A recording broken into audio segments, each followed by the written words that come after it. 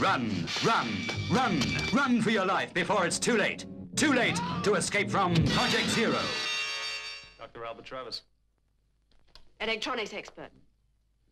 Specializing in laser control system. He was found last Tuesday morning on a busy London street with a, a bullet hole in him. The champions go to Scotland on a dangerous mission and come face to face with a deadly enemy and a terrifying secret weapon that could dominate the world. This fission gun is probably the most important discovery for the last 20 years.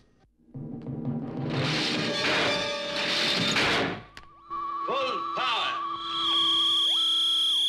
The champions face their toughest task yet in Project Zero, the next dramatic and exciting episode of The Champions.